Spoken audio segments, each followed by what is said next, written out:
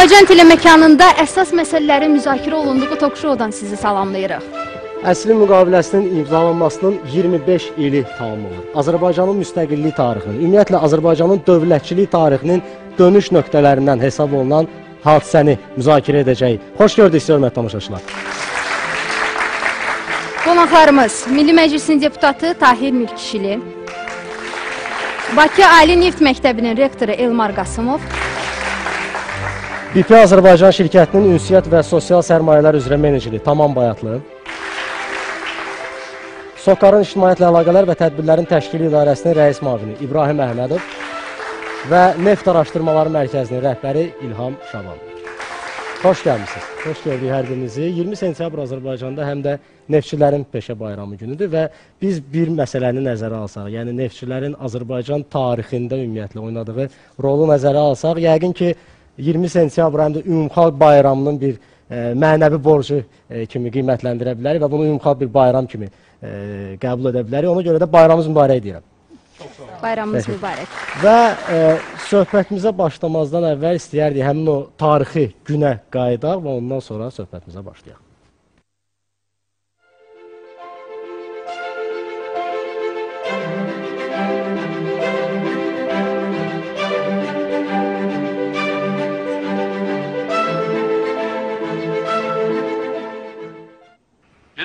Kontraktı imzalayarkən biz Azərbaycan Respublikasının suveren hüquqlarının bərqərar olduğunu, Azərbaycanın tam müstəqil devlət olduğunu və Azərbaycan xalqının öz sərvətlərinin yalnız və yalnız özü sahibi olduğunu bir daha dünyaya nümayiş ettirir. Bu kontraktı imzalayarak Azərbaycan Respublikası dünyanın inkişaf etmiş devletleri ile, onların büyük şirketleri ile iktisadi əlaqələr qurarak, beləliklə Azərbaycanın iqtisadiyyatının dünya iqtisadiyyatına, sərbəst bazar iqtisadiyyatına bağlanması üçün əsas yaradır. Müstəqil Azərbaycan Respublikasının iqtisadiyyatında və ictimai siyasi həyatında olan sabitliyi bir daha dünyaya nümayiş etdiririk.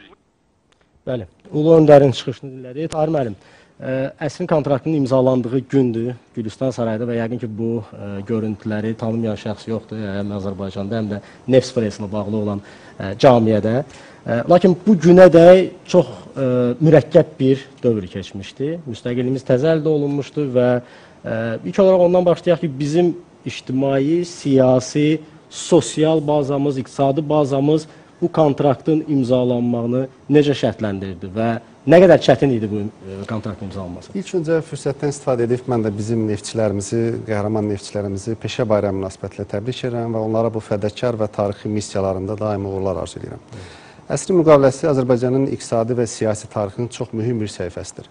Mən ümumiyyətlə düşünürəm ki, 18 oktyabr 91-ci il Azərbaycan dövlət müstəqilliyində hansı rolu oynayıbsa, 15 iyun 93-cü il Azərbaycanın xalqının və dövlətinin xilas olmasında hansı mühüm rol oynayıbsa, 94-cü il 20 sentyabrda Azərbaycan iqtisadiyyatının həm inkişafında, həm gələcək istiqamətinin müəyyənləşməsinə o cür tarix bir missiya daşıyır. Kifayət qədər mühüm bir səhifədir. Biz əgər o dövrün tarixi, siyasi və iqtisadi şəraitinə fikir versək, Azərbaycan 91-ci ildə müstəqillik əldə etsə də, amma bu müstəqilliyi qoruyub və inkişaf etdirmək üçün iqtisadi gücə sahib deyildi. Ölkədə çox ciddi iqtisadi tənəzzül var. Siz təsəvvür edin ki, 91-94-cü ildə hər il Azərbaycan ümumdaxili məhsulu 17%-ə qədər azalıb. Keçən dövr ərzində həmin dövrdə hiperinflyasiya 1763 faiz idi.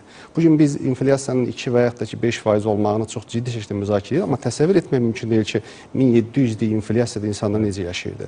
Əhalinin gəlirlərinə fikir versək, 91-94-cü ildə hər il əhalinin gəlirləri 3 dəfə azalmışdı. Azərbaycanda istehlak qiymətləri hər il orta hesabla 12-17 dəfə artmışdı. Təsəvvür edin ki, 92-ci ilin avqustunda dövrəyə buraxan Azərbaycan manatı bir il yarım ərzində 245 dəfə ucuzlaşmışdı. Yəni bax belə bir şəraitdə Azərbaycan iqtisadiyyatı, Azərbaycan dövlətçiliyi və gələcəkdə Azərbaycanın hansı istiqamətdə və hansı mənbələr hesabına irəliləşir kifayət qədər sual altında idi.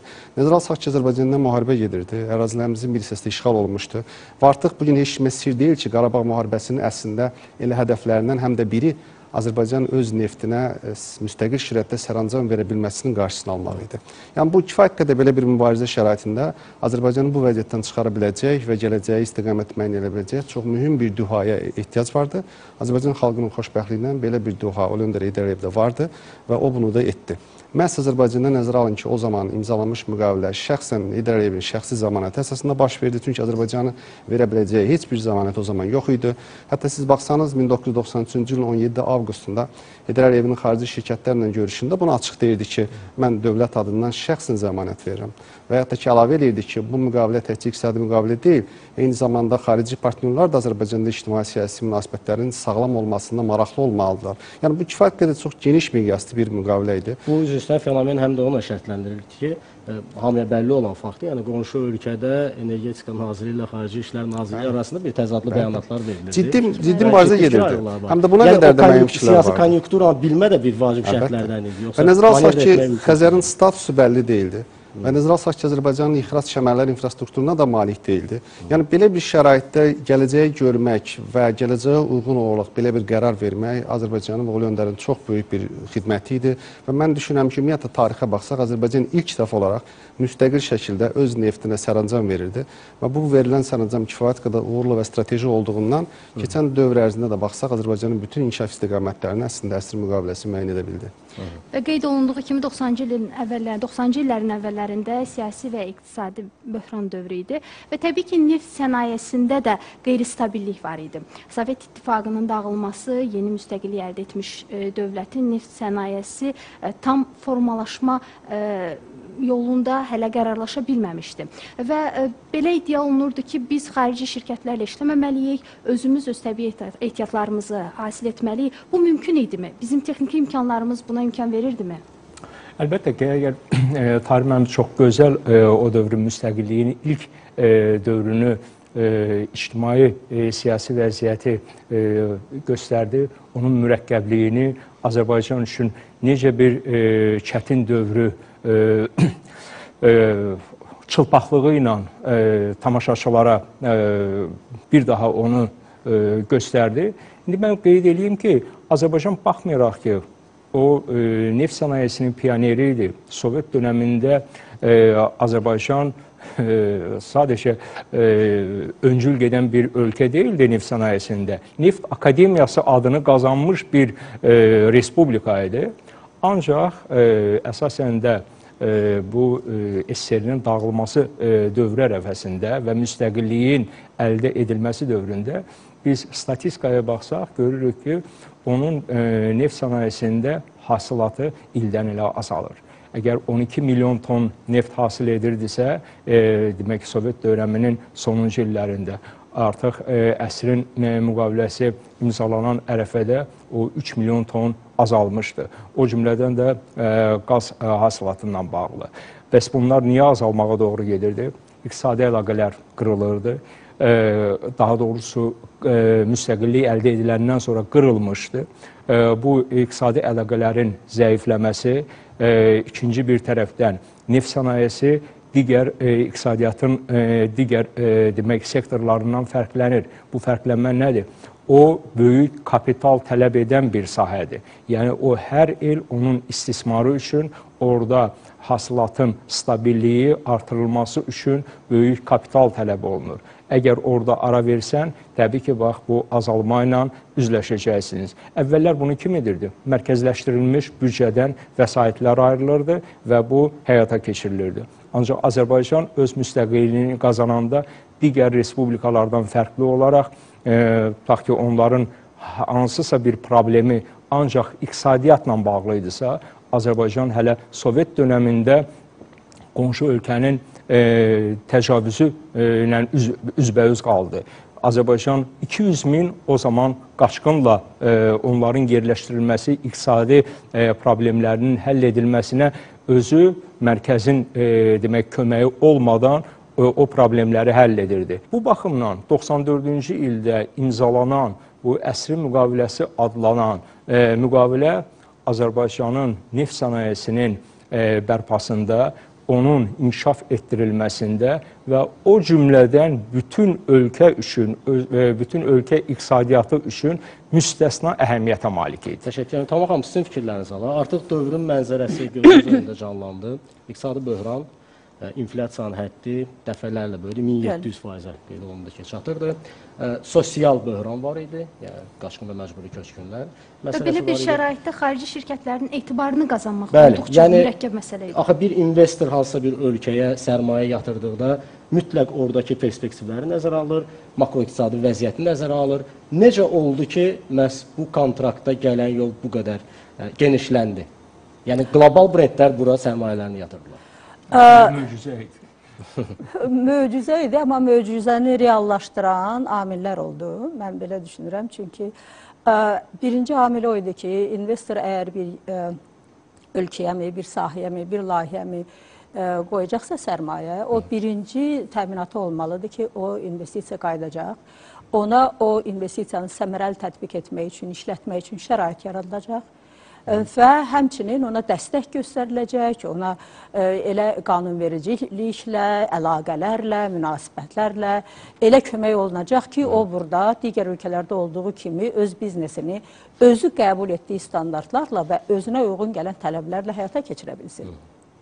Əgər bu təminatlar olmasa, heç bir investor, istər kiçik, istər böyük, ə, onun üçün o qədər qiymətli olan və vəsaitini, pulunu gətirib ya bir layihəyə, ya bir ölkəyə qoymaz. Mən belə düşünürəm ki, o vaxt belə böyük adların, brendlərin BP kimi, o vaxt Amoco var idi, sonra BP ilə birləşdi, ExxonMobil kimi, Statoil idi, indi Equinor olub və digər digər o vaxt başqa bilirsiniz qonşu ölkələrdən də qoşulmuşlar.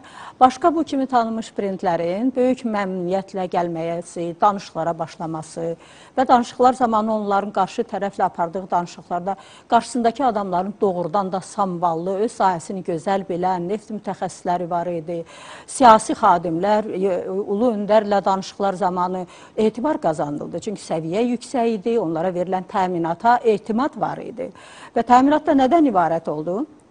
Birincisi bizim hökumət, bizim dövlət, başda ulu öndərimiz olmaqla o vaxt investorlar dedi ki, müqavilə imzalanacaq, amma bu adicə bir müqavilə olmayacaq iki tərəf arasında olar. Biz onu çevirəcəyik öz ə, qanunumuza, respublikanın qanununa çevriləcək. Onu heç kəsin dəyişmə hüququ olmayacaq. Bu qanundur.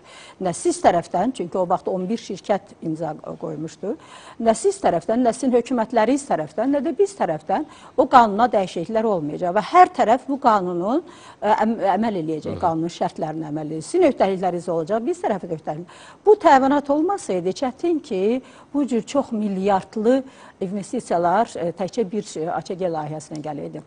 Təsəvvür edin ki, bugünə qədər AÇG-nin hələ ə, bilirsiniz bundan sonra 50-ci ilə qədər uzadılıb 36 milyard dollar, hətta ondan da biraz artıq ə, sərmayə qoyulub. Bu böyük bir rəqəmdir. Bu Həm də texnologiya gəldi. Bəli, həm də texnologiya gəldi. Və ona görə o təminat sözsüz ki, çox böyük rol oynadı və həm də o qanunun tələb etdiyi səviyyədə ölkədə bu xarici şirkətlərin, xüsusilə operatorun, yəni əvvəllər başqa şirkət, sonra 99-dan biz olduq BP, eyni ilə dünyanın harasında olursa olsun, istər Şimal dənizində, istər ə, Birləşmiş Ştatlarda biznesimizi hansı mühitdə aparırdıqsa, hansı standartlarla işləyirdiksə, hansı texnologiyaları gətirmə imkanı yaradılır da bizə, hansı ə, şərtlərlə məsələn tutaq ki, deyək də insan resurslarını biz işə götürürdük, inkişaf elətdirirdik. Hansı bizim tələblərimiz və standartlar- standartlarımız o vaxta qədər dünyada qəbul olunmuş var idisə, onların hamısını Azərbaycana gətirmək və tətbiq etmək üçün bizə imkan yaradıldı. Buna biz deyirik biznes mühiti. Əlverişli biznes mühiti yaradıldı və ona görə də bizim buradakı biznes menecmentimiz, idarəçiliyimizlə dünyanın digər yerlərindəki biznes idarəçiliyimiz arasında elə bir fərq olmadı. Bu şərtlər bu cür investorların Azərbaycanda uzun müddətə qalışını və bundan sonra da hələ uzun 10 ildə burada olacağını təmin edir. Və mən belə hesab eləyirəm ki, və üçüncü şərt də dedim dəstək idi.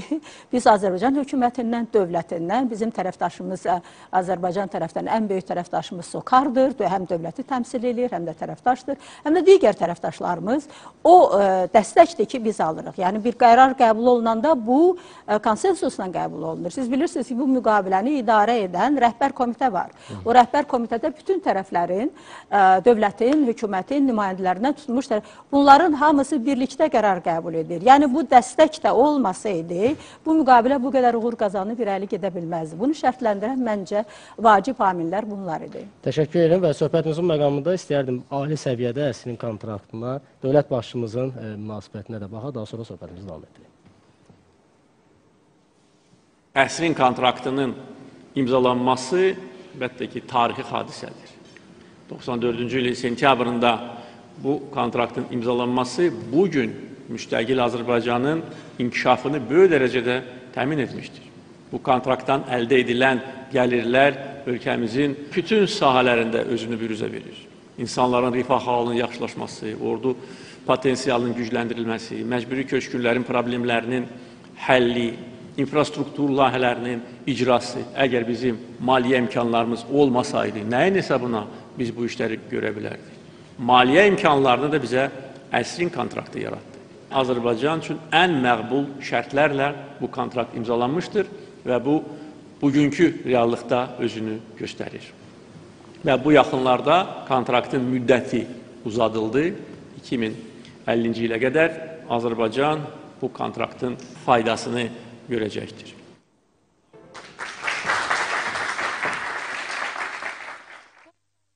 Bizim hal-hazırda Amerika Birləşmiş Ştatlarından mütəxəssis, yəni hamının çox yaxşı tanıdığı Svante Cornell xəttədir və istəyərdim çox uzatmadan elə onunla münasibətimizi quraq, əlaqəmizi quraq, daha sonra söhbətimizi davam etdirək. Cənab Cornell, Bəli, hər vaxtınız xeyir. salam. Biz bilirik sizin mükəmməl Azərbaycan diliniz var. Ona görə elə söhbətə Azərbaycan dilində istəyərdik davam etdirək. Sizin nöqteyi nəzərinizdən bir mütəxəssis kimi necə qiymətləndirirsiniz? Neft kontraktı Azərbaycanın tarixinə necə təsir göstərir və hazırki Azərbaycanın mövqeyi geo ə, enerji xəritəsində nədən ibarətdir? Bakı Ceyhan e, neft kemerin gerçekleşmesi, e, nefti Gürcistan ve Türkiye üzere dünya pazarına getirmesi, Azerbaycan'ın ve o cümleden bütün regionun müstakilliği garanti etmişti demek olar. E, ikinci olarak Karadeniz'den Hazar'a giden Şark-Garp koridoru ancak neft değil. E, aynı zaman bu koridor ticari bir koridordur. Aynı zamanda da askeri bir koridor. 11 Sentyabr'dan sonra bu koridor Afgan'da, Afganistan'daki muharebe için çok vacip oldu ve bugün Avrupa ve Kitay arasında ticari koridoru da gerçekleştirmek üzere. Ee, Bütün bunlar neft koridoru olmazsa olmayacaktı. Esrin mügavilesi bunların yolu açtı demiyorlar. Ee, İkinci olarak Esrin mügavilesi olmasaydı Azerbaycan'ın yani Şahdeniz'in gazı Avrupa'ya e, gitmeyecekti.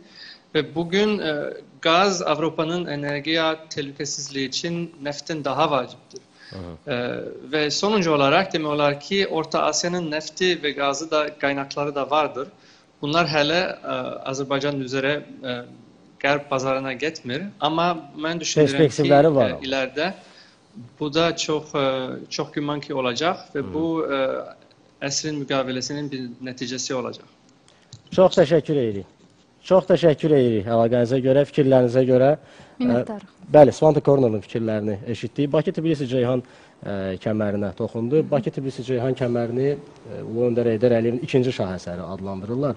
Ə, təbii ki, biz əsrin kontraktından danışırıqsa, onun davamı olaraq elə bu layihədən danışa bilmərik. İbrahim müəllim, istərdim həm də bu məqamı öz çıxışınızda qeyd eləyəsiniz. Nə qədər çətin idi və nə qədər vacib idi bizə həmin o kəmərin ixrac marşrutunun təmin olunması. E, e, Bakı Tbilisi Ceyhan və Azərbaycan ümumiyyətlə çox şaxəli boru kəməri infrastrukturu əlbəttə ki, Ulu Öndərin e, yeni neft strategiyasının əsas sütunlarından biridir. Əsrin müqaviləsindən prinsipcə ayrılmaz amillərdir bunlar və müqa- bunlar olmasaydı əsrin müqaviləsinin imzalanmasının da bir mənası olmazdı. Yəni neft çıxarılsa onu hara satacaqsan? Dünya bazarlarına çıxarılmaq üçün Azərbaycan bir vasitəsi yox idi, kəmərləri yox idi. Və əsrin müqaviləsinin, həmçinin bu boru kəmərlərin ərsəyə gətirdiyi imkanlara, imkanları dəyərləndirmək üçün mən istərdim bir fərqli perspektivdən nəzər salım. Çünki e, mənim hə, həmkarlarımın çoxları əlbəttə o hadisələrin həm canlı şahidləri, həm də iştirak birbaşa iştirakçılar, iş- iştirakçıları olublar. Onlar buna görə tarixi eks- ekskursdan ekskursdan daxil olurlar bu mətləbə. Mən isə biraz e, daha çox hazırki nəslin, yəni nisbətən daha gə- gə- gə- gənc nəslin e, nümayəndəsi olaraq buna bugünkü günün perspektivindən yanaşmaq istərdim. Çünki əsr müqaviləsinin imzalanmasından artıq 25 il ötür. 25 il isə bir nəslin formalaşdığı bir dövr, dövrdür.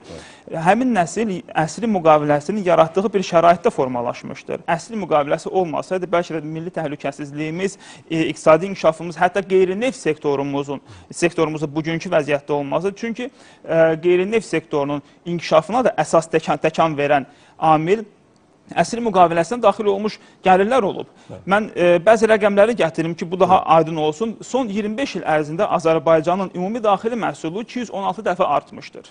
Daha obyektiv bir göstəricini gətirim. Təkcə son 18 e, ili götürsək, Azərbaycanda yoxsulluq səviyyəsi ki, ölkənin təxminən yarısı yoxsulluq həddindən aşağı səviyyədə yaşayırdı ə, tə, təqribən 10 dəfə azaldılmışdır. İşsizlik səviyyəsi tə, tə, təqribən 3 dəfə azaldılmışdır.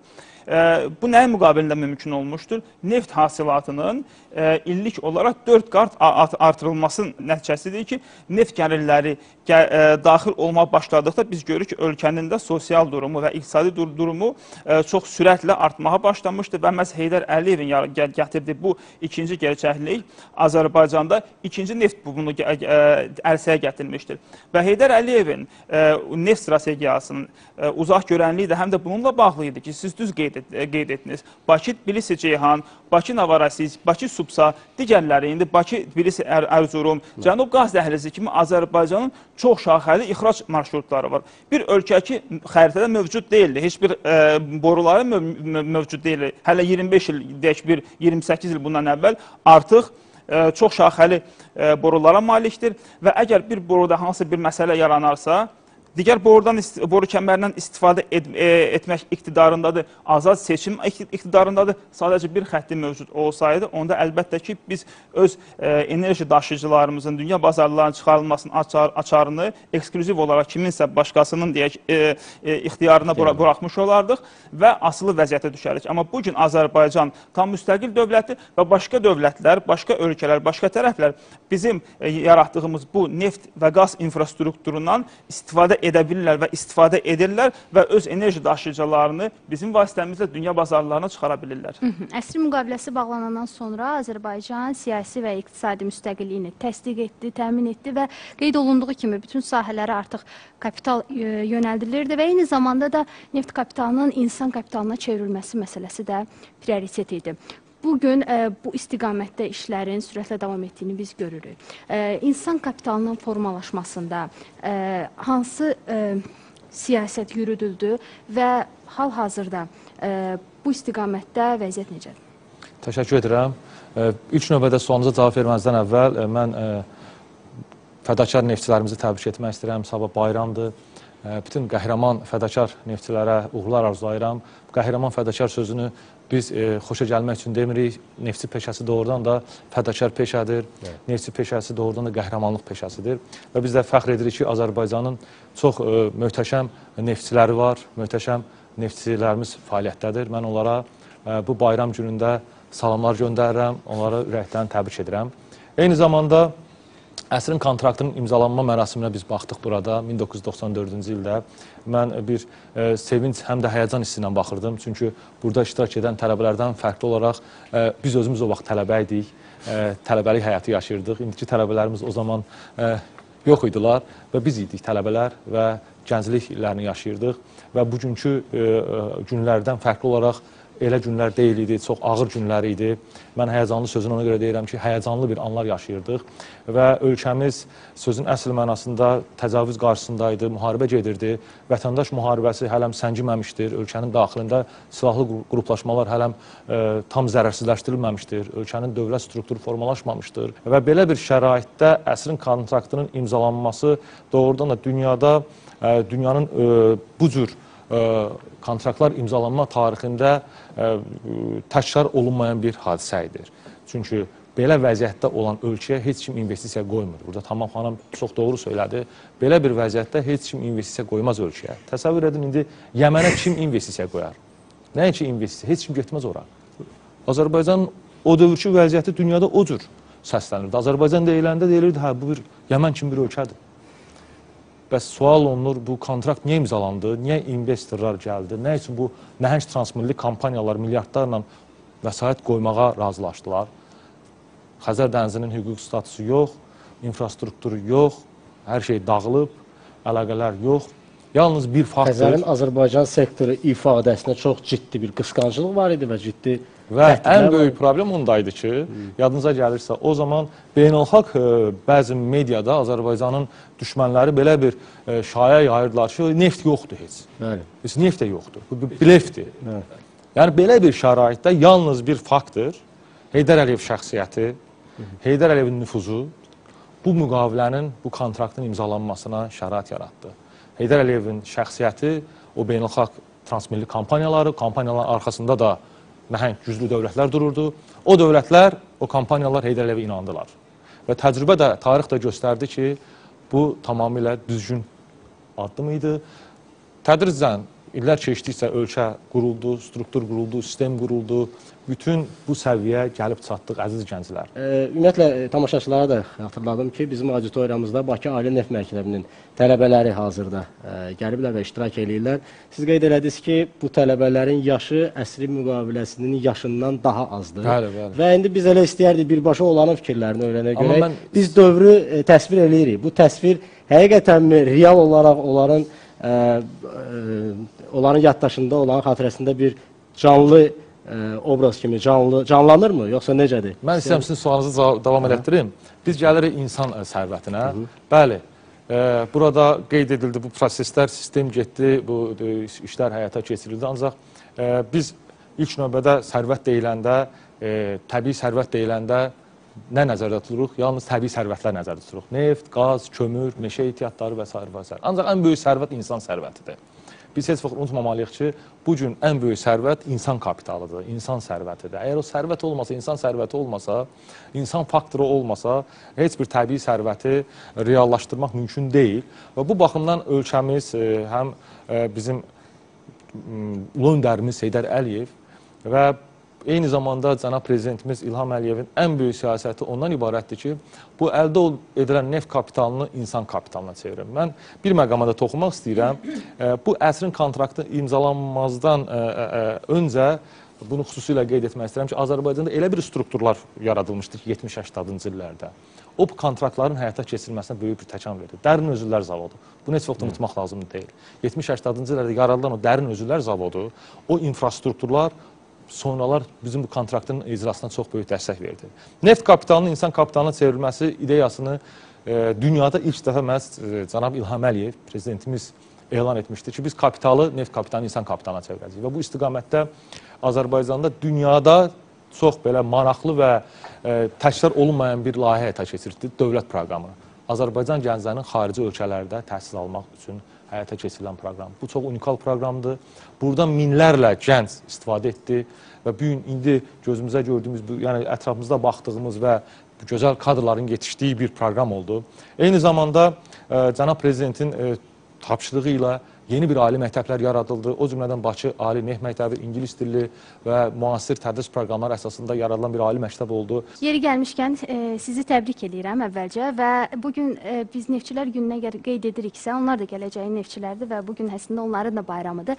Mən istərdim onların bir neçəsinə söz verim, həm onların fikirlərini, suallarını eşidək. E, salamlayıram sizi, xoş gəlmisiniz. E, birinci sizdən başlayaq. E, mikrofonu götürün zəhmət olmasa. Müzakirələr aparıldı. Siz də e, gələcəkdə bəlkə bir neçə il sonra Azərbaycanın neft-qaz sənayesində e, rol oynayacaqsınız E, və maraqlıdır bugünkü müzakirələrimizdən hansı nəticələr əldə etdiniz və qonaqlarımıza suallarınız varmı? İlk öncə söz verdiyiniz üçün təşəkkür edirik. Mən Bakı Neft Məktəbinin 3-cü kurs kimya mühəndisliyi tələbəsi Rəşad Əhmədov. Əsr müqaviləsi ilə bağlı olan müzakirələri dinlədik və bəzi yeni məlumatlar öyrəndik və sualım belə olardı ki, 94-cü ildə əsrin müqaviləsi imzalandığı il xarici kadrların milli kadrlara olan nisbəti ilə hazırda ə, xarici kadrların milli kadrla olan nisbəti arasında necə bir fərq var? Çünki ə, neft kapitalının insan kapitalına çevrilməsi istiqamətində bu ötən 25 il ərzində çox uğurlu addımlar atılıb. Buradakı fərq necədir? Bunu bilmək istərdim. Tamam xanım, yəqin ki Məncə ilk bu sual mənədir, bəli. Bəli, çox yaxşı sualdır. Çox sağ olun. Elə mən özüm də o, o məsələni vurğulamaq istəyirdim, amma indi sizin sualınıza cavab olaraq deyim ki, çox sevindirici haldır ki, Azərbaycanda hal-hazırda ə, əvvəlki ə, neftçi kadrları, mütəxəssisləri, ənənələri geri qayıtmaqdadır. Bayaq İlham müəllim də onu dedi ki, vaxtı ilə Azərbaycan SSR-də bəlkə də ə, şərq elə ölkələr arasında neft akademiyası hesab olunub. O vaxtlar Neft və Kimya İnstitutu adlanırdı. Bütün SSR-yə və yaxın şərq ölkələrinə, Əfqanistan və s. Vyetnam kimi ölkələrə bilirsiniz ki, gəlirdilər burada təhsil alırdılar, gedirdilər. Amma sonra təhsildəki o e, ümumiyyətlə bayaq danışdığımız sosial ə, tənəzzül məsələləri ilə bağlı olaraq təhsildə ə, xüsusilə də elə neft sənayesinə aid olan mütəxəssislərin yetişdirilməsi sahəsində də təəssüf ki, müəyyən müddət ə, mütəxəssislərin o səviyyədə ə, yəni xarici şirkətlərin tələb edəcəyi səviyyədə onların işlərini, texnologiyalarını, avadanlıqlarını, təhlükəsiz, onların tələblərinə uyğun işlədəcək səviyyədə mütəxəssislər az-az tapılmağa başladı. İlk öncə 94-cü ildə xarici şirkətlər bura gələndə, mən məsələn öz şirkətimiz adından, BP şirkəti adından deyirəm ki, onlar öz işlərini özləri ilə gətirirdilər. Və ə, ona görə sözsüz ki, ə, platformalarda menecerlər, bizim terminalda menecer, İlham o vaxtdan bizlə işləyir, İlham müəllim, o bilir, hara gedirdisə xarici menecer, yanında da tərcüməçi danışmalı idi. Bugün vəziyyət tam dəyişib. Yəni, Bir neçə il əvvəlin də hətta bir faktını sizə gətirim ki, bir neçə il əvvəl, təqribən bir 10 il əvvəl BP xarici ə, mühəndislik ə, fakültələrinə qəbul olunan Azərbaycan vətəndaşları üçün ə, təqaüd ayırırdı. Hı -hı. Ona görə ki, bu təqaüdlə bağlamaq istəyirdi ki, bunlar mütləq qayıtsınlar və BP-də işləsinlər. Ə, xüsusilə Türkiyə universitetləri, Orta Doğu ə, Universiteti, Mühəndislik Universiteti, Ankara Universiteti və s. mühəndislik, neft mühəndisliyi, qaz mühəndisliyi fakültəsinə qəbul olundu mu, arayışı gətirirdi ki, qəbul olmuşam, biz onu 4 illik, 5 illik ə, təqaüd təyin edirdik və deyirdik ki, qutaran kimi bizə gəl. Çünki yerli universitetlərin ə, bu tərəf məzunlar bizim tələbləri açıq desək çox ödəmirdi. Başqa bir fakt da deyim ki, hətta biz bəzən yerli mütəxəssisləri, bizim yerli universitetlərin məzunlarını işə götürürdük. Görürdük səviyyə bizi qane eləmir. Təzdən bir il şirkətin daxilində onlara maaş verərək, bunu Elmar müəllim yaxşı bilir, təzdən onları bir il ixtisas artırırdıq onlara. İndi necədir vəziyyət? Bunlar ləğv olunub hamısı. İndi Faiz yəni- etibarilə rəqəm səsləndirə bilərik. Faiz etibarilə deyəcəm, amma bir fakt deyim ki, qədim ənənələr qayıdır. İndi hal-hazırda BP-də işləyən Azərbaycan mütəxəssisləri BP-nin bütün quru, e, dünya səviyyəli sistemində iş elanları ki açılır. Məsələn, Avstraliyada prezident yeri, ölkə meneceri yeri açılıb. Bizim mütəxəssislər ora ərizə verir və keçir. Bu il ərzində 10 nəfər yerli Azərbaycan vətəndaşı BP-nin dünyadakı biznesində yüksək səviyyəli rəhbər vəzifələrə veriblər ərizə və keçiblər. Yəni Mütəxəssis ixrac eləyirik yəni. Bəli, başlamış o ənənə. Sərmayə də ixrac eləyirik, mütəxəssis də ixrac eləyirik. Faizə gəldikdə isə hal-hazırda bizim şirkətimizdə yerli mütəxəssislər, ixtisaslılardan söhbət gedir, mühəndislər və s. 90 faizi yerli Azərbaycan vətəndaşları, cəmi 10 faiz xarici vətəndaşlar qalıb şirkətimizdə. Məncə bu faktda alqış düşür.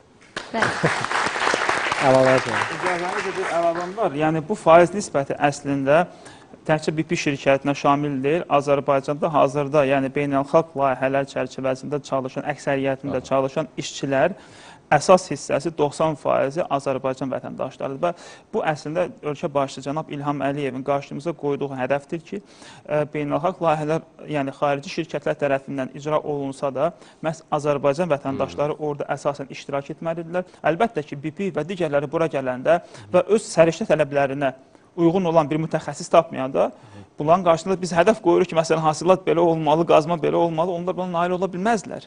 Biz ona görə həm də bu istiqamətdə onlara dəstək olaraq özümüzə də e, yüksək səviyyəli kadrların hazırlığını, hazırlığını həyata keçirməyə başladıq. Təsadüfdür ki, Bakı Ali Neft Məktəbində birinci ildə tələbələr ingilis dilini öyrənirlər. Çünki onlar rahat olaraq bütün müasir elmləri mənimsəyə bilsinlər, mühəndislik elmlərini və bütün dünyada e, əlaqə qura bilsinlər, bütün mütəxəssislərlə e, e, mübadilə apara bilsinlər, e, təcrübə mübadiləsi və həm də həm SOCAR-da, həm də xarici şirkətlərdə iş, e, işləyə bilsinlər. Bu gün SOCAR nəinki ali təhsilli insanlara, həm də e, fəhlə kateqoriyasına olan, yəni bunlar daha çoxdur və bunlar ölkənin iqtisadi inkişafı üçün bir o qədər də zəruridirlər, vacibdirlər. Yəni onların yüksək səviyyəli bacarıqlara malik olması olması, yüksək səviyyəli qan qaynaqçılar məsələn o ölkədə çox vacib məsələdir. Şadəniz e, e, Şadəniz Şad- Şadəniz e, layihəsində işləyən mütəxəssislər oradakı məsələn sualtı qaynaq, su, su, sualtı e, hissələr üçün xüsusi qaynaq e, üslubları tətbiq olunur. Dünyada çox nadir mütəxəssislərdir. Məsələn, dünya üzrə 100-200 varsa, onların əksəriyyəti elə bizdədir. Yəni yeni texnologiyaları tətbiq edən e, bu cür mütəxəssislər, bu cür fəhlə kadrlarını biz hazırlamışıq. Sokrat bu günə qədər e, təl, e, öz təlim mərkəzlərində 100 mindən çox Azərbaycan vətəndaşı üçün təlim e, keçirib, onlara beynəlxalq səviyyəli sertifikatlar verilir. Onlar bu sertifikatlarla həm SOCAR-da, həm də digər şirkətlərdə, həm də xarici şirkətlərdə işə götürülürlər və bunu, bu, bu- bunu, bunun nət, nə, nəticəsidir ki, biz tərəfdaşlarımızla artıq e, e, razılaşdığımız bu hədəfə nail ola bildik və əsas hədəfimiz odur ki, bundan sonra da ən azından 90% e, nisbətini qoruyub saxlayaq. Təşəkkür edirəm. Təşəkkür edirik və digər bir tələbəmizə istərdim söz verim. Sizin sualınız da maraqlıdır. Buyurun. Salam, mən Bakı Ali Neft Məktəbi Neft-Qaz Mühəndisliyi 3-cü kurs tələbəsi Nigar Bayramova. Mənim sualım ondan ibarət idi ki, əgər əsrin müqaviləsi imzalanmasaydı, Azərbaycan iqtisadiyyatı indiki mövqeyinə çata bilərdi? Tahir müəllim çata bilərdi. Mən gəl- Əslində tarix e, şərt budaq cümləsini xoşdur. Mən başqa cür deyim. Belə, Biz buna alternativ ssenarilər deyirik. Mən deyim ki, biz əslində nə əldə etmişik? Siz özünüz nəticə Nəticə çıxardın ki, əgər olmasaydı nə olardı? Keçən dövr ərzində, bu 25 il ərzində, əslində 25 il iqtisadiyyatda elə böyük bir dövr deyil. Yəni 25 il ərzində biz bəlkə də 100 il ərzində olan bir işləri görmüşük. Biz keçən dövr ərzində Azərbaycan bir neçə strateji hədəfə nail oldu. Birincisi biz mövqeyimizi müəyyən etdik ki, biz bazar iqtisadiyyatı qururuq. Biz ikinci müəyyən etdik ki, biz inkişaf etmiş məkanlarla əlaqə qurmağa çalışırıq. Biz texnologiyalara açıq. Biz üçüncü müəyyən etdik ki, biz bütövlükdə Xəzər dənizinin və regionu dünya iqtisadiyyatına açdıq. Mən hesab edirəm ki, Azərbaycan Xəzər dənizinə haqqı və hüququ olan ikinci bir dövlət və millət yoxdur. Yəni biz bu qədər Xəzər dənizini inkişaf etdirmişik, onu bütün dünyaya açmışıq, iqtisadi blokadadan çıxartmışıq onu. Üçüncü bir tərəfdən biz Azərbaycan olaraq bayaq da mütəxəssis çox gözəl qeyd elədi. Bütövlükdə regionlar arasında infrastruktur yaratmışıq biz. Yəni bu Bakı Tbilisi Ceyhanla başladı, Bakı Tbilisi Ərzurumla davam etdi. Daha sonra Bakı Tbilisi Qarsla nəqliyyat infrastrukturu tam bərpa olundu. Cənub qaz dəhlizi layihəsinin başa çatması ilə bütövlükdə bu region artıq tam başa çatır. Üçüncü bir tərəfdən biz bu gün dünyanın ən güclü 50 ordusundan birinə sahibik. Yəni əgər bizim torpaqlarımızın işğal olduğu bir momentdə belə bir orduya sahib olma nə demək olduğunu hər kəs anlamalıdır. İkinci bir tərəfdən biz bu gün Azərbaycanda regionda yeganə ölkəyik ki, müstəqil şirətdə öz e, milli maraqlarımıza uyğun olan layihələrə qərar verə bilirik. Məsəl üçün Bakı Tbilisi Qarsın həyata keçməsini qoymurdular, amma biz etdik onu. Və hətta ki, Xəzər dənizinin bölünməsi ilə bağlı Azərbaycan mövqeyi uzun müddətli qəbul olunmurdu, amma sonunda yenə qəbul etdilər. Yəni bu bütövlükdə Azərbaycan dövlətinin güclənməsi deməkdir. Azərbaycan dövləti bütün reytinqlərdə artıq 25-ci, 32-ci, bir çox hallarda dünyanın ən çox islahat aparan ölkəsi, BMT-nin Təhlükəsizlik Şurasına rəhbərlik edən bir dövlətdir. Azərbaycan gələnədən qoşulmama hərəkatına e, rəhbərlik edəcək. Amma bütün bu layihələrdə ikinci bir istiqamət var ki, mən qeyd etmək istəyərdim. Dövlətlə yanaşı Azərbaycan vətəndaşı da nə əldə etdi? Çünki biz bir tərəfdən dövlətin güclənməsi bizim üçün nə qədər vacibdirsə, vətəndaşın rifah halının yaxşılaşması da çox vacibdir. Biz keçən 25 il ərzində 250 min köçkün ailəsi üçün mənzil tikildi Azərbaycanda. Keçən bu dövr ərzində Azərbaycanın əhalinin real gəlirləri dəfələrlə artdı, minimum əməklər artdı, pensiyalar artdı. Bu gün Azərbaycanın əhalisinin banklarda olan əmanətlərin həcmi bütövlükdə 8,5 milyard manatdan çoxdur. Biz əgər 94-cü ilə baxsaq, Azərbaycan iqtisadiyyatı Cənubi Qafqazda Gürcüstan və Ermənistan toplam iqtisadiyyatından ən azı təxminən 40% kiçik idi. Amma bu gün baxsaq, Azərbaycan iqtisadiyyatı Gürcüstan və Ermənistanın bütövlükdə iqtisadiyyatından 2 dəfəyə yaxın böyükdür. Əgər biz 94-də baxsaq, Azərbaycan iqtisadiyyatı dünya iqtisadiyyatında cəmi 0,7 %7 faizə malik idi. Amma bu gün baxsaq, Azərbaycan bu payı 2,2 dəfə artırıb. Təbii ki, istənilən halda biz e, belə deyim, iqtisadiyyatın və yaxud da siyasətin e, tənzimlənməsində İdare Əliyev duhası mən əminəm ki, yenə istənilən bir formada Azərbaycanda dövlətçiliyi daha da inkişaf etdirmək formasında biz vəziyyətdən çıxmağa bacaracaqdıq. Amma neft amili hər bir millətdə olduğu kimi bizdə də inkişaf üçün çox mühüm bir katalizator rol oynadı. Biz bu, bu sizin- bütün, bütün millətlərdə var, tək bizdə deyil. Əlbəttə. Məsələn, siz e, baxsaz Yaponiyanın inkişafına, Böyük Britaniyanın inkişafına, Amerikanın inkişafına baxsanız, onların da hər birinin inkişafının tarixinin bəlli bir dövründə çox ciddi sürətli katalizator rol oynayan amillər olmuşdur. Sərvət, sərvət düzgün idarə olunmamaq nəticəsində, düzgün xarici və daxili siyasətin yeridilməməsi nəticəsində o sərvət ölkələrə xoşbəxtlik gətirmir, bədbəxtlik gətirir. Və faktiki olaraq uzun illərlə Bakı şəhərinin özü də baxmayaraq neft faktının hesabına nə qədər böyüsə, gözəlləşsə də, amma nəzərə alın ki, son 100 ildə Azərbaycana nə qədər xarici qoşunlar gəlib. Əsrin əvvəllərindən. Və e, təsəvvürün 2-ci Dünya müharibəsi e, fraqmentlərinə baxanda e, siz faşist Almaniyası rəhbərliyinin torta e, hə, həsrətlə baxa-baxa Bakının adına baxa-baxa nə qədər yəni Bakı şəhəri həmişə neft üçün, neft faktoruna görə cəlbedici bir şəhərə çevrilib. Lakin qorumaq və bu sərvəti xalqın ə, xidmətinə, xalqın inkişafına, dövlətin inkişafına yönəltmək bu e, Heydər Əliyevə, ulu öndərimizə onun məhz bilavasitə e, fəaliyyəti nəticəsində yönəldi və cənab İlham Əliyev də bu siyasəti uğurla aparır və bizim gənclərimiz də bu ə, məhz sərvətin Azərbaycanın inkişafına yönəlməsinin daim canlı şahidləri olurlar. Təşəkkür İlham müəllim. Mən məhz tələbənin sualını açıqlamaq istirdim ki, e, AÇQ Azəri Çıraq Günəşli olmasaydı e, necə ola bilərdi? Bayaq e, dövlət başçısının çıxışında bir məqama e, toxundu. Qeyd elədi ki, indi Azərbaycanda nə varsa bu bizim maliyyə imkanlarımızın nəticəsidir. Bu maliyyə imkanlarını isə əsrin müqaviləsi verir. Yəni əsrin müqaviləsinin Azərbaycan iqtisadiyyatında xüsusi çəkisi e, kifayət qədərdir. Mən bir neçə fakt e, demək gətirmək istəyirəm ki, yəni dolğun şəkildə bilsinlər ki, e, həqiqətən də əsrin müqaviləsindən Azərbaycan, Azərbaycan iqtisadiyyatı nə qədər qazanc götürür. Ümumiyyətlə əsrin müqaviləsindən sadəcə e, Azərbaycan dövləti hansı ki, neft fondunda o demək mənfəət nefti şəklində yığılır, ondan ibarət deyil. O dövlətin payıdır. O e, avqust ayının birinəcən 143,3 milyard e, dollardır. Yəni bu dövlətin payıdır. Bundan əlavə e, demək hökumətin payı var.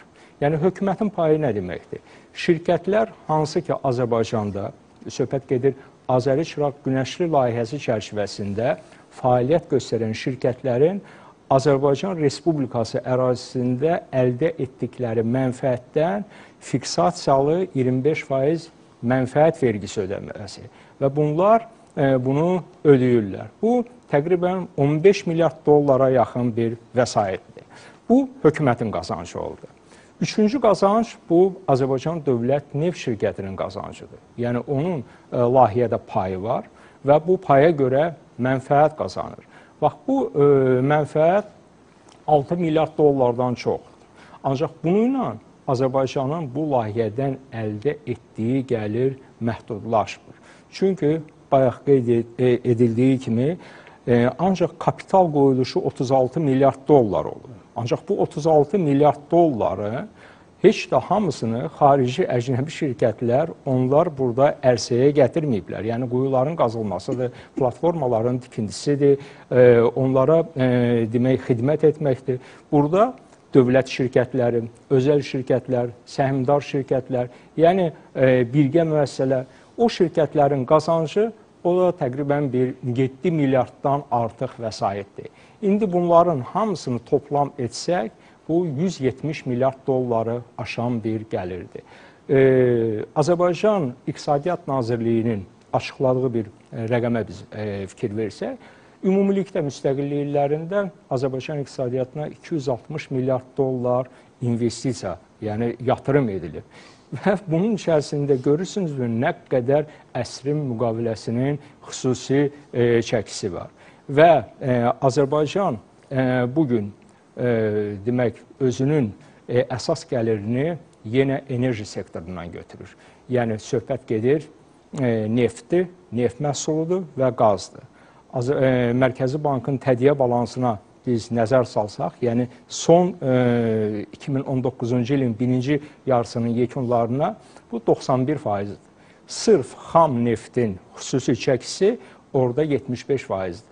Ancaq Azərbaycan neftinin özünün demək içərisində Azəri çıraq günəşinin xüsusi çəkisi 80 faizdir.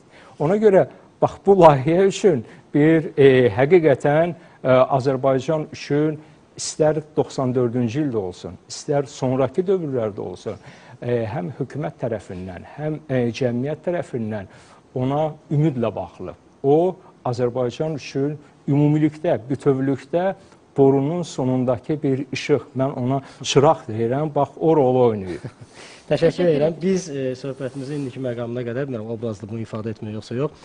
Ötən əsrin müqaviləsindən danışdıq. Yeni əsrin müqaviləsi də var. Söhbət yataqların Azərbaycan Çıraq Günəşli yataqlarının 2050-ci ilə qədər işlənməsi, Şahdənizin ikinci mərhələsinin işlənməsi və bu da özü də bir tarixi e, tarixi bir hadisədir və istəyərdim e, kontraktın uzadılması ilə bağlı tədbirdən cənab prezidentin fikrinə nəzər sala daha sonra söhbətimizi yekunlaşdıraq.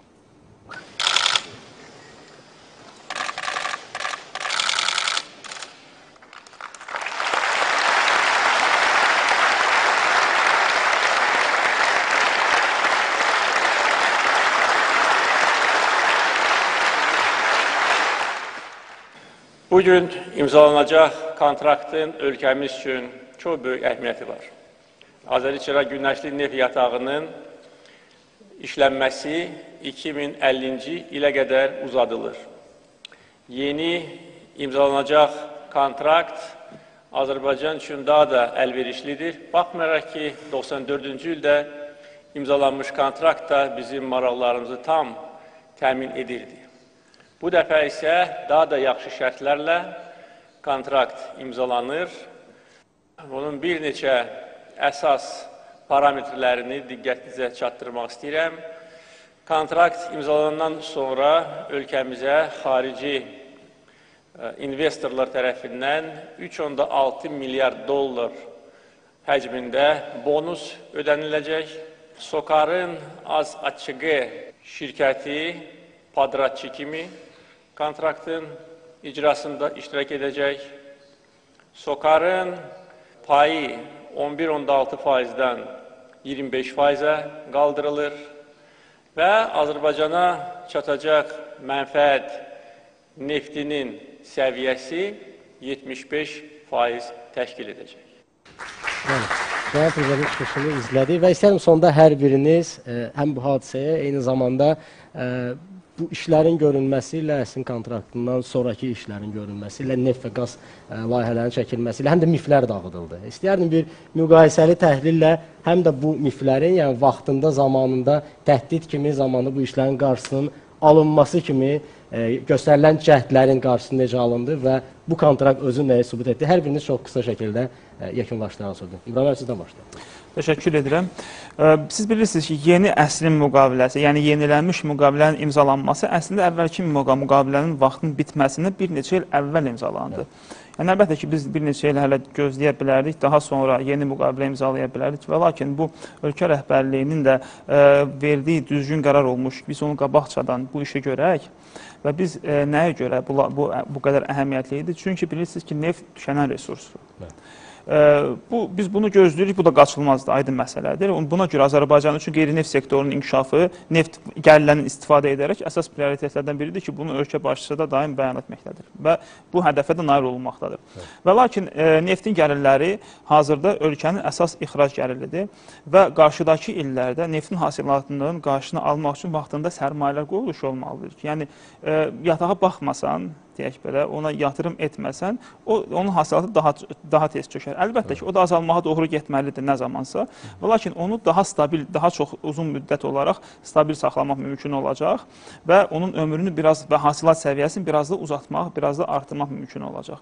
Buna görə e, əlbəttə ki, bütün tərəfdaşlar da görməlidirlər ki, onların qarşısında uzun müddətli perspektiv var. Bu əməkdaşlıq 3 il, 4 il deyil, yəni 30 il e, e, qabaqcadan planlaşdırılıb. Bu bəli dövlət qanunudur ki, dövlət zəmanəti var burada və artıq bu ildən etibarən yeni platformanın tikisinə, tikintisinə də başlanıb ki, e, tərəfdaşımız BP şirkəti layihənin operatoru olaraq e, bir sıra şirkətlərlə, o cümlədən də sokarın törəmə məsələləri ilə artıq platformanın tikintisi ilə bağlı e, müqavilələr imzala, imzalayıbdır. Yəni işlər işlərə artıq bu gün start verilib. Yəni 2023-cü ildə deyil, 2024-cü ildə deyil, artıq o vaxta qədər, yəni 2023-cü ilə qədər platforma hazır olacaq və hasilat davam edəcək. Bu müqavilə Azərbaycan Azərbaycan üçün daha əlverişli şəraitdə imzalanmışdır. Əlbəttə bu e, 25 il əvvəl müqavilənin imzalanması bizim üçün labüdlük, zərurət idisə, bu gün bu könül seçimidir bir növ. Bunu bizim birinci vitse-prezident akademik Xoşbəxt Yusufzadə bir neçə dəfə izah etmişdir ki, bəli, bizim qarşımızda müxtəlif imkanlar var idi. Onlardan da biri bəlkə də müstəqil işləmək, niyə də yox, indi texnologiya da var, imkan, maliyyə imkanı da var. Ya da başqasını məsələn cəlb etmək bu işə, ya da ki, BIP ilə davam etmək. Əsas layihə operatoru kimi və digər tərəfdaşlar da bu axırıncı variant bizim üçün daha xoş gəldi. Çünki BIP ilə bizim artıq oturuşmuş, yaxşı səmərəli əməkdaşlığımız var və bu şirkət bu layihəni, layihəni başqa şirkətlərdən daha yaxşı tanıyır. Bu yataqlara bələddir. Beləliklə bizim qarşımızda duran əsas hədəflər SOCAR olaraq və ölkə olaraq əlbəttə neft hasilatının mümkün qədər stabilləşdirilməsi və uzun müddət ərzində stabil, stabil saxlanılmasına nail olmaqdır. Və ikinci hədəf Azərbaycanın neft yataqlarından başqa həm də zəngin qaz yataqları var. Bizim gələcək kəşflərimiz, gələcək ümidlərimiz məhz qazla bağlıdır. Bu Azərbaycan üçün yeni bir ə, gəlir mənbəyidir ki, neftin azalması müəyyən qədər kompensasiya etməyə ə, kömək edəcək. Hı. Və nəhayət Azərbaycanın qeyri-neft sektorunun inkişaf etdirilməsidir ki, buna dövlətdə, dövlət çərçivəsində, ölkə çərçivəsində fəaliyyət göstərən bütün qurumlar deyək öz töhfələrini verməkdədirlər. Həmçinin də SOCAR o cümlədən. Siz SOCAR-ı neft şirkəti kimi tanıyırsınız. Adında da belə gedir. Amma bu gün SOCAR gübrə istehsal edir Azərbaycanda. Yəni bu Azərbaycanın e, Azərbaycanda yeni reallıqdır. Əsli müqaviləsinin həmçinin yaratdığı reallıqdır ki, bu gün SOCAR təkcə neft hasilatı ilə deyil, həm ölkə daxilində, həm də ölkə xaricində bütün dəyər zənciri üzrə neft qaz sənayesinin bütün dəyər zənciri daşı, daşınmanda da, emalında da, satışında da iştirak edir. Ölkə daxilindən də, ölkə xaricindən də ölkə üçün əlavə gəlir, əlavə mənfəət yollarının axtarışındadır və əlavə mənfəət qazandırılmaqdadır. Bax, bizim gələcək baxışımız bu sütunlardan ibarətdir. Təşəkkür edirəm. Tamam xanım, BIP necə görür bu məsələni? Bu yalnız kommersiya layihəsidirmi, yoxsa daha artıqdır. Açıq, yox, kommersiya əlbəttə öz yerində biz kommersiya şirkətiyik, amma indi mən əminəm ki, başqa mövqedən də gələcəkdə uzadılmasının əhəmiyyəti haqqında danışacaqlar. Mən burada beynəlxalq nüfuz məsələsini danışardım. Çünki bu Azər Çıraq Günəşli layihəsi Azərbaycanı bir dəfəlik dəyişməz olaraq dünya neft və qaz xəritəsində özünə layiq yerə qoydu. Bu müqavilə nəticəsində biz dünya xəritəsində öz əvvəlki mövqeyimizi bərpa etdik. Hamı bilir ki, Azərbaycan həm dənizdə, həm də quruda ə, çıxarılan neft sənayesində ə, bu beşiyidir. Burada yaranıb. Həm quruda bizdə ilk ə, bu quyu qazılıb, həm də ilk dəniz platforması burada tikilib. Yəni bu təsdiq olunmuş bir faktdır. Amma bu tarixi bir fakt idi. İndisi bu aktual bir e, e, fakta çevrildi. Yəni bu gün də elədir. Hamı da görür, hamının gözün qabağındadır ki, Azərbaycanda elə nəhəng yataqlar var ki, Azərbaycan hələ uzun müddət öz mövqeyini dünya neft və qaz sənayesinin beşiyi olmaq mövqeyini saxlayacaq və xəritədəki öz mövqeyini saxlayacaq. Uzadılmanın ən böyük əhəmiyyəti bir o idi ki, Azəri Çıraq Günəşliyə görə məhz Azərbaycanın dünyanın neft e, təchizatçıları sırasında ən mühüm rol, rol oynayan bir ölkə kimi qalacaq. Əsrin ortasına qədər ən az qalacaq. Yəni bundan sonra ola bilər biz D230 blokda neft tapaq, Ya ola bilər tapmayaq, ola bilər Şəfəq Asımanda qaz tapaq, tapmayaq. Amma ümidvarıq ki, tapacağıq inşallah. Amma bircə Azəri Çıraq Günəşlinin əslinin ortasına qədər uzadılması artıq Azərbaycanı beynəlxalq neft və qaz sənayesində nüfuzlu bir ölkə, aparıcı ölkələrdən biri, baş təchizatçılardan biri kimi yerini möhkəmlətdir. Mən bunu görürəm və hələ uzun illər BP Azərbaycanla birlikdə bu mövqeyin Azərbaycan saxlanması üçün əlindən gələni edəcək. İlham müəllim, həm də bizim ehtiyatlarımızın təsdiqi idi bu. Yəni həmin o mif dağıdılır. Təkcə bu deyil idi. E, demək 2015-ci ildə e, neftin qiyməti kəskin ucuzlaşandan sonra həmçinin e, demək Cənub e, qaz dəhlizinin tikinti işləri ilə əlaqədar cəmiyyətin bir hissəsində belə bir e, fikir formalaşmışdı ki, Azərbaycanda artıq neft erası bitdi. Evet. Ona görə 2017-ci ildə bu əsrin müqaviləsi 2 deyək. Bax o müqavilənin imzalanması ilə bu mif dağıdıldı. Ancaq mən e, bu 2050-ci iləcən e, bunun e, hüquqi qüvvəsi var. Mən e, nəyi qeyd etmək istəyirəm? 1846-cı ildəki sənaye üsulundan e, qazılmış ilk quyu yolu. Mən qeyd etmək istəyirəm ki, 2050-ci ildən sonra da Azərbaycanda neft çıxacaq. Və sonda sizin də fikirləriniz maraqlıdır, buyurun. Hörmətli akademik Xoşbəxt Yusufzadənin bir gözəl sözü var. Deyir 1949-cu ildə neft daşları e, deməli istismara buraxılanda deyir mən gənc geoloq idim. Orada deyirlər ki, bu yatağın bir 10-15 il ömrü var. 70 ildir neft daşları ən məhsuldar yataq olaraq kifayət qədər e, neft hasil edir, 70 ildir və e, burada da Bu il yubiley səfər. İnşallah hə, bir, bir aydan sonra hə, neft daşlarının 70 illiyi idi. 70 ildir bu yataq e, iqtisadiyyatımıza xidmət edir. E, eyni zamanda da digər yataqlar haqqında da danışmaq olar. Bilirsiniz, xarici investorlar e, investisiyanı elə-belə gətirib qoymurlar sözə, filana. Bunlar e, öz kapitalının qədrini bilirlər və əgər 2050-ci ilə qədər e, bu im müqavilə imzalandısa, deməli bu investorlar, bu kompaniyalar ölkəmizin tükənməz neft-qaz ehtiyatına bilirlər və bu işi də davam elətdirirlər. Amma mən e, bu kontraktın uzam, uzadılmasının bir mühüm əhəmiyyətini də demək istərdim ki, burada bir məqam var. Xarici tərəfdaşlar Azərbaycanı çox etibarlı, professional, güclü tərəfdaş kimi qəbul etdilər. Ona görə də əgər 94-cü ildə biz əgər e, addım atmışdıqsa, bu dəfə bu kompaniyalar Azərbaycana bağlandıqlarına görə, Azərbaycandakı bu e, işlərə yüksək qiymət verdiklərinə görə çox böyük maraqlı idilər ki, bu kontraktda iştirakçı olsunlar. Yəni Azərbaycanı bir etibarlı tərəfdaş, professional tərəfdaş, sözünün üstündə duran bir ölkə olaraq qəbul etdilər. Təşəkkür edirəm. Mən də düşünürəm ki, Azərbaycan tamamilə artıq son olaraq yeni bir erada yaşayır və biz müasir bir iqtisadiyyat qururuq. Bu iqtisadiyyatın içində inkişaf etmiş, dəyişilmiş neft sənayesi də olacaq. Bu iqtisadiyyatın içində arzu olduğumuz formada texnologiyanın təchiz olunmuş qeyri-neft sektoru olacaq. Bizim gələcəkdə inkişaf etmək istədiyimiz və görmək istədiyimiz neft sektoru bugünküdən fərqli bir sektordur. Biz artıq neft sektoru deyəndə yalnız xam nefti, qazı hasil edib ixracdan söhbət getmir. Bu gün bayaq da burada qeyd olundu. Bizim artıq neft sektorumuz içində Sumqayıtda Sokor polimer kimi istismar müddətində 6 milyard dollardan çox gəlir əldə etmək qabiliyyətinə malik olan zavodumuz var. Bizim 15 il ərzində 11 milyard dollar çox gəlir əldə etmək qabiliyyətinə malik olan Sokarın yenə e, Türkiyədə Star neft emal zavodu var. Bizim karbamid zavodumuz var. Biz artıq Azərbaycan hər il e, bu ilin 6 ayında 58 milyon dollara çatan elektrik enerjisi ixrac edirik. Biz kimya sənayesimiz artıq 80 milyon dollarlıq 6 ay ərzində ixrac edirik. Yəni biz yeni bir neft sektoruna sahib olacaq hökmən. Amma bununla yanaşı Azərbaycanın əsas məqsədi insan kapitalına əsaslanan müasir iqtisadiyyat qurmaqdır. Bunun üçün Azərbaycanda çox güclü, cəsarətli və əhatəli islahatlar gedir.